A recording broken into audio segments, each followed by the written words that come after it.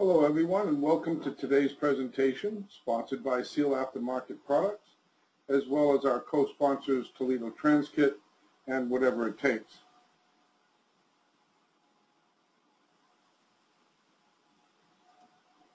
Seal Aftermarket Products engineers and manufactures Toledo Transkit with the rebuilder in mind, including everything you need to get the job done right.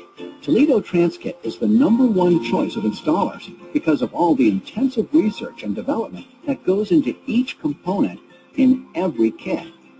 Like re-engineered valve body gaskets, preventing EPC damage by eliminating the shredding you get from original equipment, plus all of the extra essentials that are included, like spring and screen filters that should be changed at overhaul. Toledo Transkit even includes loose valve body gaskets that fit all 19 bonded separator plates. At Seal Aftermarket Products, we don't just make kits, we make kits better.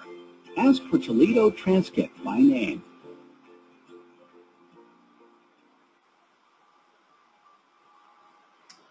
Okay, if we have any questions or comments, please send your emails to webinars atatra.com.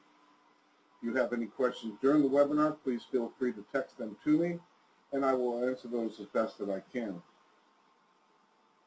I'd like to mention our webinar schedule. The next webinar will be on April 21st and 22nd. Uh, will be on the rebuild of the CFT30. Also like to mention Expo this year will be on October 29th all through to, the, to uh, November 1st. It will be in Las Vegas at the Rio, same place we had it last year. Uh, if you guys have never been to Vegas, uh, this is Halloween weekend, one of the best times to be there. Here's our schedule for, throughout the year for our seminars across the country. The next one we'll have will be actually this weekend, April 11th, in Minneapolis.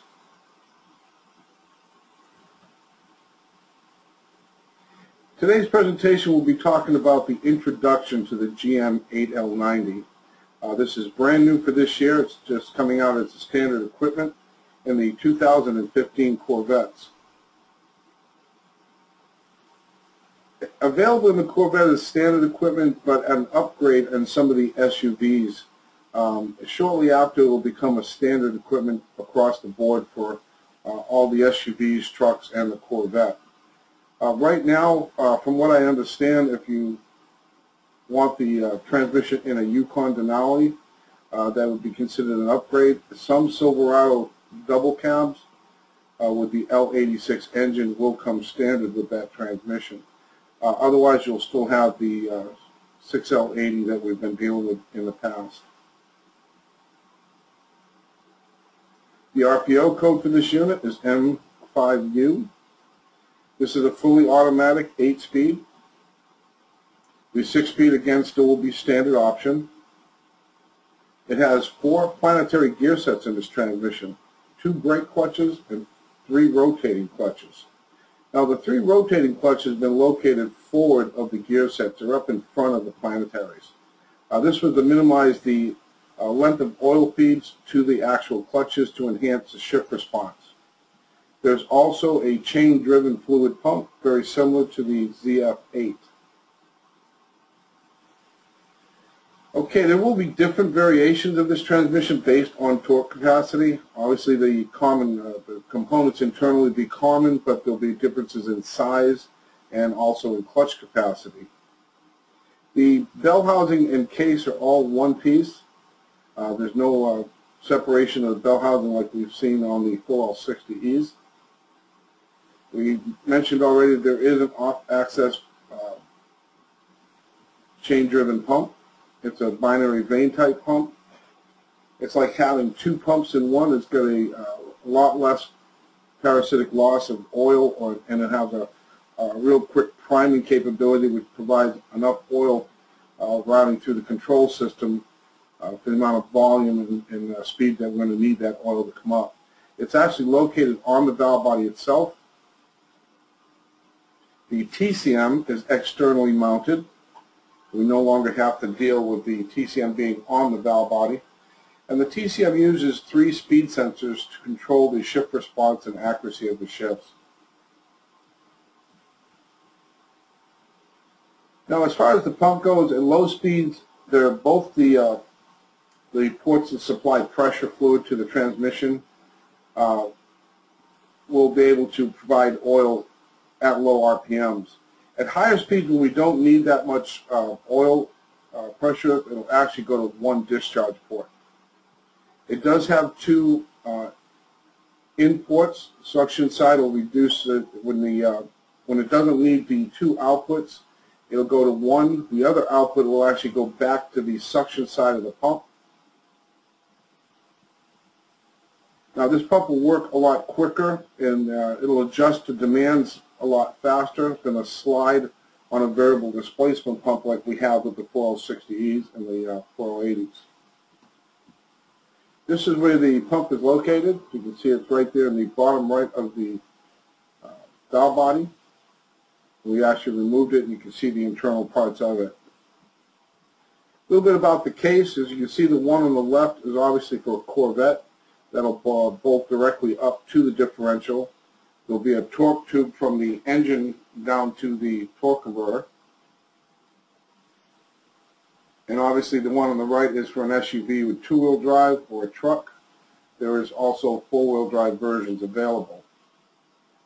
And you can see the coolant lines are right there in front of the linkage shaft.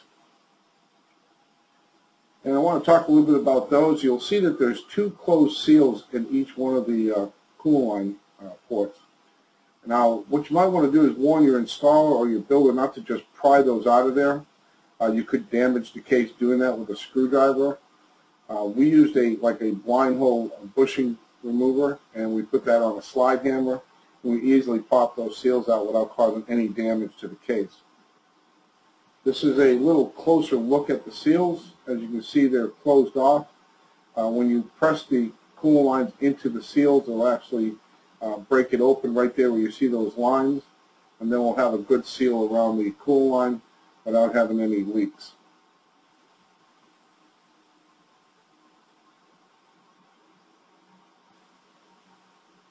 Okay, the TCM is going to monitor different load sensors on the vehicle as well as the uh, speed sensors to control the shifts. There's five multiple discs we mentioned already, three driving and actually two brake discs. There's only one reverse gear ratio, unlike when you would find on Mercedes it has two different ratios in reverse. Now the four gear sets are the four planetaries that we're talking about is the direct overdrive gear set, the input gear, reaction gear, and output gear set. And we'll show you those in a bit. Now the five clutches are actually named for what they do. So we have a 1, 3, 5, 6, 7 clutch. That's when that clutch will actually be applied during those shifts. Here's a cutaway view to give you an idea of the layout of the transmission. As you can see, all four of our planets are towards the rear. Uh, two brake clutches are also in the back of the transmission. And you can see that the three driving clutches that I have in the red square those are in front of the planetaries. Again, that was for a quicker fill time. This is the solenoid identification. Same thing with the solenoids. You'll notice that they're all named uh, for exactly what they're going to control. So the, the solenoid is named for each clutch that it's going to control. Now this default control solenoid that you see in the uh, middle left side of the valve body at first, uh, when we were studying this transmission, we thought this was definitely going to be for fail-safe, but it actually has more than one function, so it's not just a fail-safe solenoid.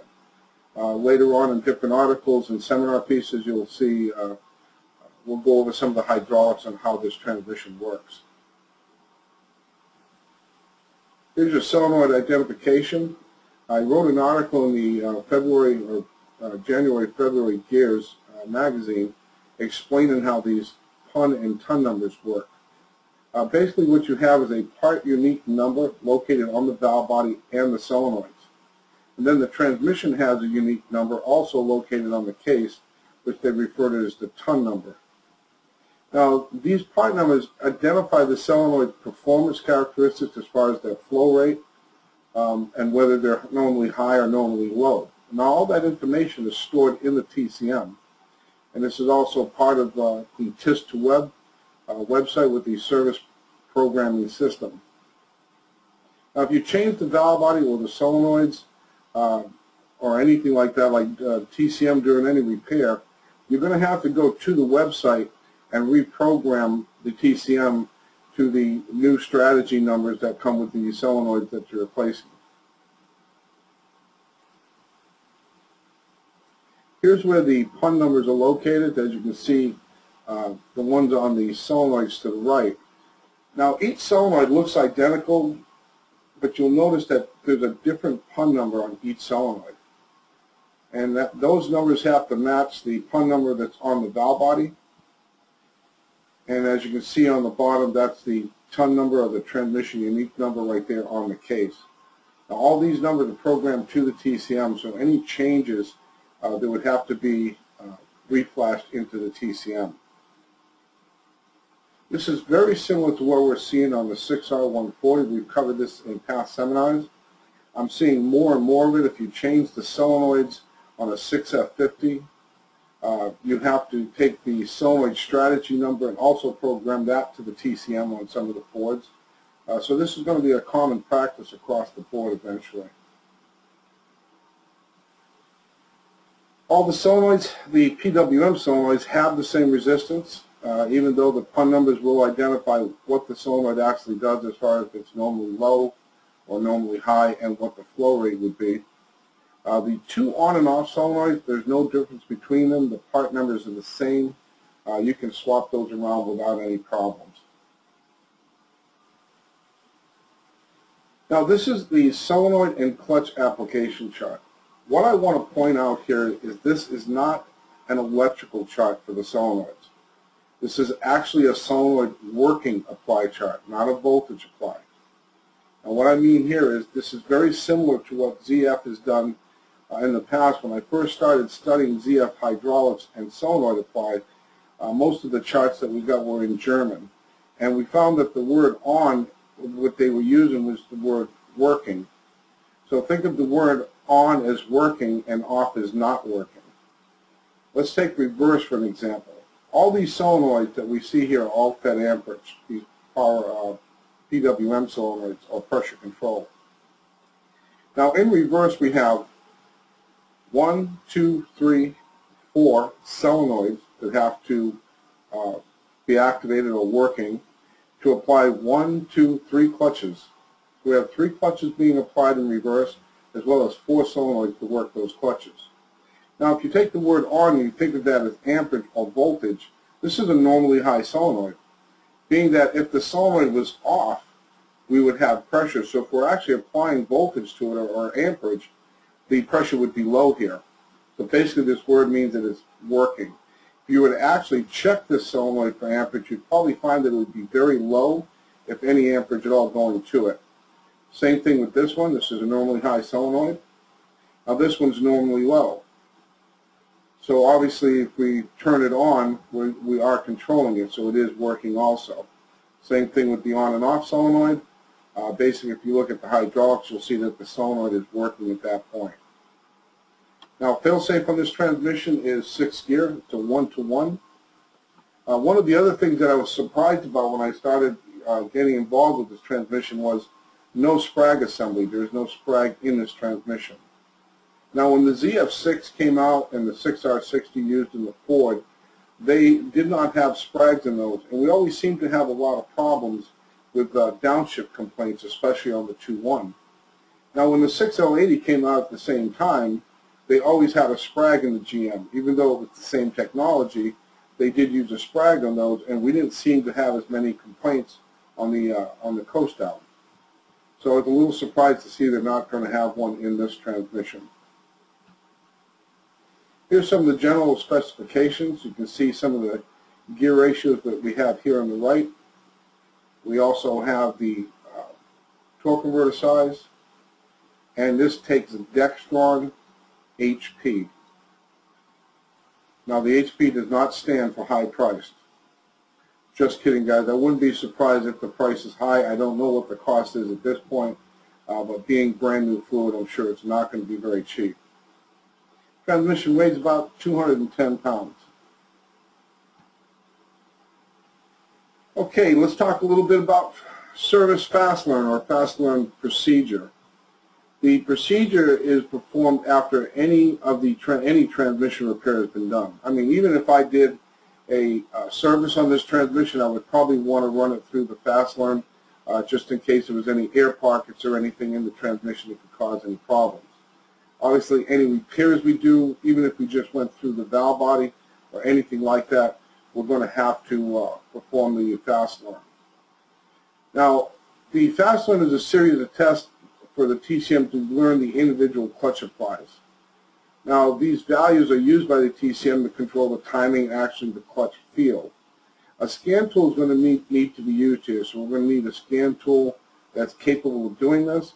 Obviously, if we don't have one, we'd actually have to take it over to the dealer. And you can see some of the repairs we're talking about. Even if you just replaced the pressure regulator solenoid, you'd have to do a fast learn on it. Uh, any valve body repair, any repair that has anything to do with shift quality concerns. Obviously, if we change clutches, clearance is going to be a little bit different, so we're going to have to do the fast learn on the transmission. Now there's also shift adapt. This is after we've done our fast learning, we have to take the vehicle out and actually drive it and get it to relearn or readapt the shifts. Now the TCM is going to monitor the input uh, speed sensor, the intermediate and output speed sensor to control the shift commands. If the shifts are happening too fast or too slow, obviously the computer is going to uh, control the PC solenoid uh, to get that shift field uh, set to the correct settings. Now we're going to have take you through a series of tests that you'll have to do. Uh, you need to follow these step by step and you'll find these on the following pages.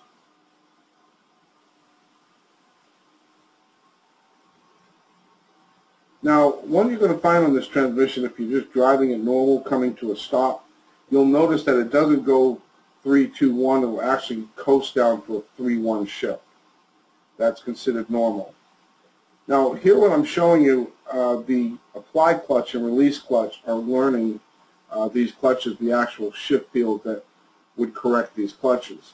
Notice that they've named them C3, C4, uh, C1, C3, so this got a little confusing to me, and you'll notice in your handout material on your apply chart, I did list those uh, identification letters and numbers above each of the clutch packs. So if you go here, you'll see that the uh, to learn the C1 clutch, the C1 clutch is actually the 1278 reverse clutch. We give you the procedure to follow through to relearn that clutch. Then you'd also have the C2 just below it. And on this slide, you'll, uh, you'll have the C3, C4, and we identify the clutch to match as those. One of the things I do want to mention here, you notice like here on the C5 relearn, the bottom paragraph says repeat this a few times and retry to feel any shift complaints. So it doesn't have an actual set amount of times to do this. So you may have to do it more than a few times. You may have to do it 10 or 20 times so you get that shift feel to feel right. And that chart will show you what shifts that will actually relearn the clutches. Now just below that we have the coast down shift adapt. This is obviously not a passenger type uh, drive. This is just an actual coast down. Now notice here it says right away repeat 10 times. So we know that we have to do a minimum of 10 times. So this is not going to be a 10 or 15 minute road test. Your technician may be out on the road for quite a bit to get these to relearn the, uh, the adapt for the clutches. Here's the power downshifts or kick downs or passing gears. Uh, notice here it says repeat is necessary in each gear. Then we also have the garage shift adapts. This is obviously for engagements. And you'll notice this one will say repeat is necessary until desired shift quality is achieved. So we may only have to do it two or three times, but we may have to do it more than 10. So just be aware that uh, when it says to do it until necessary, it depends on how quick it's learning. Here's your three speed sensors. You can see they're on one harness. So if you need one of them, you have to buy all three. But it is separate from the main harness. Uh, what they'll- keep mentioning out through GM's uh, factory manuals and training manuals is these torque to yield bolts. These are a very lightweight bolt. If you had about 10 of them in your hand, you probably wouldn't even feel the weight. Uh, they, they break very easily. They're supposed to be used once. So when we take them out on a rebuild, we're supposed to throw them away and use new ones. Now, obviously, in the real world, like you and I, we'll just probably reuse them if they're not broke, especially if it's just holding down a bracket for a speed sensor or, or anything else that's not really under any type of pressure or need to be torqued. Do not take these bolts out with any air tools. I can tell you that right now. It won't, you'll end up breaking probably uh, half of them, if not all of them. You're supposed to break them loose first with a hand tool. Okay, this is where the sensors are actually located in the case. As you can see in the top middle section is where the speed sensors hook up to the main harness. In the upper left corner of the case, you'll see the harness, the main harness that comes in. Uh, that's the plug that would go to the harness for all the solenoids, uh, the temp sensor, as well as the internal mode switch that you see at the bottom of the case. And there's your torque to yield bolts. Now, when I took the valve body off this unit, this was the only seal that we saw between the valve body and the case. So make sure that this doesn't get lost or gets replaced during every rebuild. Now, to get to the pump assembly, we're going to have to first take off this fluid baffle. And this is going to expose the sprocket and chain so we can remove that to get the valve body off. Now, you'll see that these are also torque to yield bolts. Uh, according to the factory, these bolts are torqued to their maximum stretch, and then they're turned another 90 degree angle. So these bolts are basically maxed out, so it's not going to take much to break them. The same Torx Plus socket be used on the six-speed can also be used on this unit. Now this was the actual baffle that we were taking off at uh, Seal Aftermarket Products where I was working with this vehicle. Uh, we noticed a missing torque to yield bolt. Now the factory recommends, as you can see here on the right, to take a punch that fits inside the head of the bolt and lightly tap it. We just want to kind of break the, the tension free on it. Then we went in with a speed handle, as you can see in the bottom left, and we took the bolt out by hand. We did not have a problem with it, but you can see on the right, someone else had tried to take it off with an air tool and obviously broke the bolt off into the pump. Now this is the drive sprocket chain. This is over by the bell housing area. We found that the drive gear that uh, that actually goes onto the hub of the converter, the dimensions were the same on both sides of the gear, so you could actually flip this gear around. It really wouldn't matter. Uh, there's also a thrust washer, as you can see here, that goes between the bell housing and the gear. Now, when we go to remove the one on the pump itself, um, you're going to find that as soon as you grab the gear before you even pull on the uh, locking tab, you're going to find the gear is very, very loose. It'll seem abnormally loose. That's actually okay. That's the way it's done. It's made. Um, this was an actual 2013 model that we were working on. This was right from the engineers. So we found that the transmission was having issues with the chain breaking. Now they originally had that sprocket um, on that shaft pretty steady. It didn't move at all. And they had some issues when the RPMs would pick up where the chain would load from side to side from vibration and it was actually breaking the chain. So they decided to go ahead and still lock it to the shaft so it can't move forward or backwards. But even though it's locked to the shaft, it's still pretty loose. So that now at higher RPMs, the, the sprocket can actually center itself and there's no side stress on the chain. So now you can take a scribe like you see here, We're just going to reach in and grab that tab. You're going to pull it out of the slot and then pull it up. Once you remove it, it'll look like this. And you can see that uh, the opening of that tab is, is a lot smaller where it's going to go around the groove on the shaft to hold it in place. When we go back in with it, obviously we're going to line that tab up with the groove and then we just slide it down till it clicks into place. If you don't have it in the right spot, that tab will not slide down far enough to actually even, it won't even be able to barely move, and you won't be able to lock it in place. You just have to move the gear to the, uh, to the slot for that locking tab. A little bit more look at the uh, pump here. We can see that there's a gasket and a seal. These are not to be reused. And what you see here on the right is a sleeve that's supposed to go into the pump in that direction. is a tab that sticks out on the right, and that's supposed to go down inside the bore first. Now this sleeve is supposed to be there to prevent any kind of cavitation in the pump. Now the one that we worked on did not have the sleeve. I don't know if the engineers that were working with it just left it out, or uh, you may not see it on some models. A little close look at this seal. Uh, when we put the seal back in or we put a new seal in this pump, uh, make sure you line it up correctly. I can see this uh, being this mistake possibly being made and uh, we wouldn't want to have any issues with uh, any kind of cross leaks here. The internal mode switch, nothing new. We've seen internal mode switches before. Uh, there is something a little bit different about this one.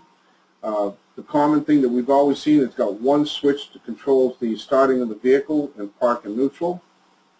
And then we have five other switches that are actually Hall effect switches to uh, let the TCM know what gear has been selected.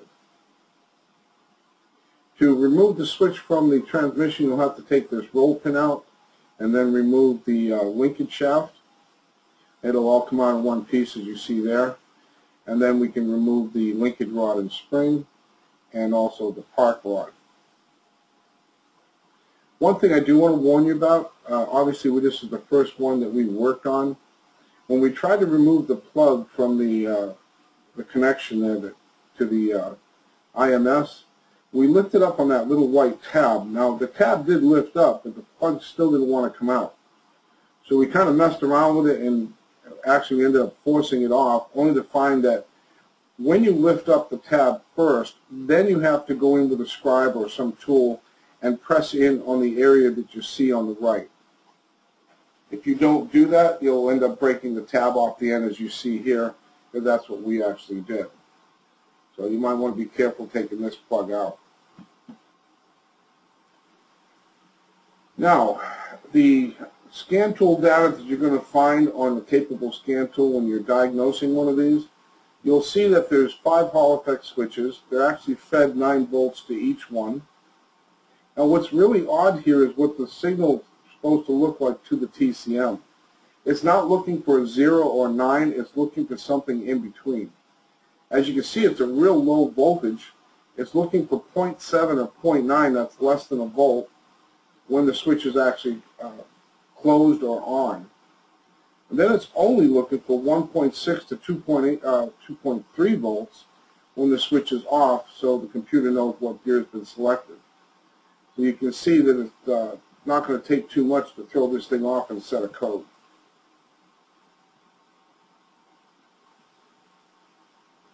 There's your fluid temp sensor. It is part of the main harness. As you can see here, if you look closely here, you'll see that there is just two wires coming in. So if we did have another harness or another sensor, that we could actually wire in our own. It's a thermistor type sensor, nothing uh, unusual about it. Works like the ones we've always seen in the past.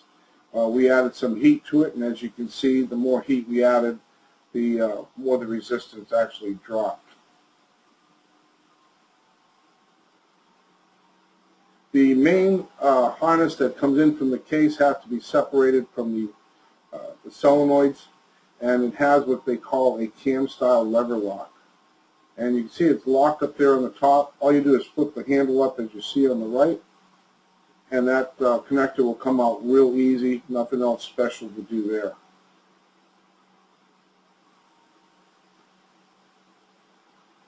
To remove the valve body, you're going to find that there's uh, 11 bolts.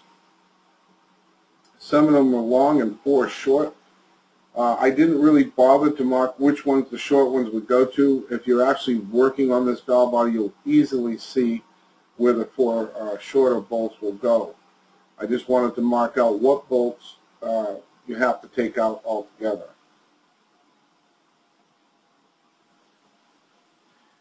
Once we get the valve body off, and the first thing you're going to take off is right over there what they call the control solenoids plate. Uh, we're going to take that channel plate off first, and as soon as you do, you'll see uh, seven of these accumulators. Now these seven accumulators and springs are actually accumulators to dampen the signal fluid from each of the uh, uh, control solenoids. So they want to smooth that uh, oil signal out before it actually gets to the control valves. Uh, all the springs and all the pistons are exactly the same size, so you don't have to worry about mixing them up. What I did like about this design was we've seen in the ZF units the accumulator is very similar to this, and they use a rubber ball on the bottom of them as a cushion. Um, those have a tendency to flatten out over time, and then we have some issues with uh, shift concerns because of that. I don't see these springs wearing out anytime too soon. They're pretty hefty springs. There's one more large accumulator in the valve body, as you see here. This is basically going to be for forward clutch engagement. This particular clutch comes on as soon as you put it in drive. You also have the spring dimensions for that spring also. Okay, going back to the top of the valve body, uh, the same area where you find the accumulators and springs, you will also find uh, some check balls. The check ball size is the same as an old 350, except instead of steel, they're the same white nylon type check ball that we find in the ZF units. So in this top section, you'll find three small check balls there, because there's 10 altogether, nine small ones and one large one. Now once we remove the solenoid body off of the valve body, as you can see on the bottom right, you'll have one more small check ball there, and that's where you'll find the large check ball. Then if we flip the solenoid body over, which is the top of the main valve body that we're seeing here, that's where you'll find the other five small check valves. This should look pretty familiar to everyone. It's uh, basically exactly like a, a uh, 6L80 and that's the orientation of the snap ring opening because we have a blind spline. As you can see we have a blind spline at the top of this clutch pack here and 180 degrees to the other side of the drum is we have a blind spot there.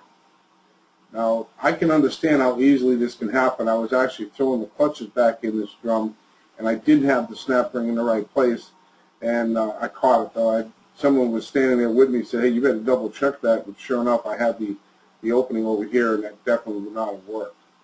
What I did notice something different about these pistons is this U-shape cut out here, and it lined up with the, uh, the two holes here and this one blind spline.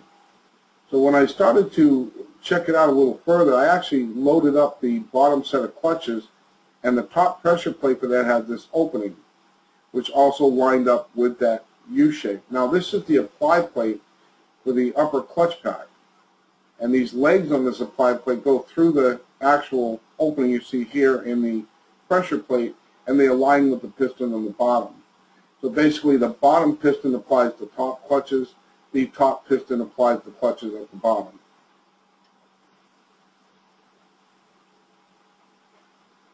Fluid level check. Uh, nothing real high tech here. The only problem is that we are going to need a scan tool to uh, monitor the temperature that you see here. Also, there is no uh, fill tube or dipstick. So there will be a standpipe used inside the, the uh, pan to set the fluid level. Most important thing is that the uh, temperature has to be correct, as you see here. It has to be correct or we're going to be underfilled or overfilled. Obviously, we don't want oil coming out of the vent or foaming up, causing any kind of pump cavitation. There will be some models, I don't know exactly which ones yet, that will have um, fluid temp uh, information right there in the driver's information center on the cluster itself. If not, you're going to need a capable scan tool to do this. Uh, we give you the step-by-step -step on how to set the fluid level if you're using, uh, if you're doing this without a factory uh, scan, uh, factory service tool to change the fluid, you can see here we have the overfill and the drain here. And then we have this plug on the side. This might not be too easy to get to, especially in a Corvette. So then we can go in and make some kind of a tool to go ahead and fill it up. And remember, only use the Dexron HP fluid. One of the things I do want to mention though is, is this plug works exactly like the plug on a boat. You have to pull this tab up first or you're not going to get that out of there very easily. You might want to let your installers know so he's not struggling trying to pull this thing out, only to find that he just had to pull up on that little tab first. This is the service done with a factory service tool. Uh, pretty easy here. We don't have to worry about filling it up to that uh, fill plug hole. Uh, the tool would actually just adapt right there to the bottom of the pan and it would fill it to the correct level right there. Here's your fluid capacities for the Corvettes. And there's a slight big, uh, bit of a difference between that and the trucks and SUVs.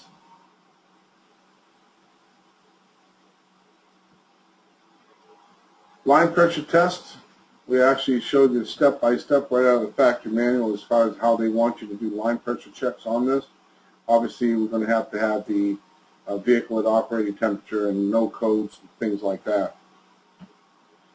What I do want to clarify something here is the most of the factory manuals you'll find will point to both of these uh, taps and say they're both used for line pressure, which they can be. That is correct. But the one on the right is actually the 1, 2, 3, 4, 5 reverse brake clutch. Now the same kind of confusion happened with the RE5, RO5As found in the Nissans. We were using the right-hand side tap close to the bell housing for line pressure check, which is okay because that is the brake band, and that brake band is on in forward and reverse, and for every gear except fourth. So even though there may be pressure to that band, in some gears it's not being used, but in fourth there will be no pressure there. So some confusion would happen if someone was looking at a chart thinking that was the, uh, the line tap or just the line pressure, and they had a fourth gear problem, they would think they're losing pressure in fourth when they would see the gauge drop out in fourth, only to find that that's what it's supposed to do. So the same thing here. If I wanted to do a stall test, I can use either one of these taps. But if I have a problem in sixth, seventh, and eighth, I'm not going to use the tap on the right to, to check my pressure I'm having a problem in those gears because the gauge will drop back down to zero. Uh, special thanks to Robert Bateman over at Seal Aftermarket Products uh, for helping me compile all this information, especially uh, working with me on getting these pictures. There's the rest of the procedure to check your line pressure.